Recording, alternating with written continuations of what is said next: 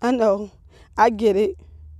I don't need to be stabbed up or smacked up, slapped up with so much beef, always got to walk around strapped up to know that you don't love me.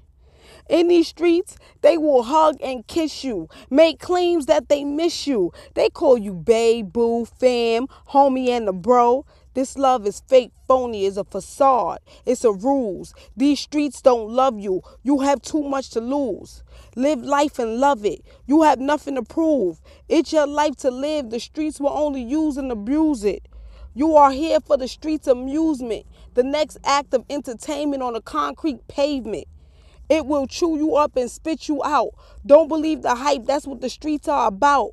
I know at times the love seems so real seems so sincere. But these streets don't really love you, and most of all, they don't care.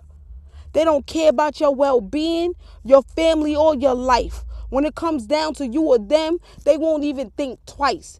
These streets don't love you because there's no love in these streets. They will have you killed and flood your feed with rest and peace.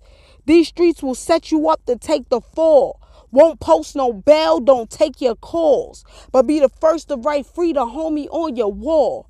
These streets got actors, they be doing it for TV. I know for a fact that these streets don't love me. These streets don't love you. I am speaking the truth. I am going to war with the streets to take back our youth.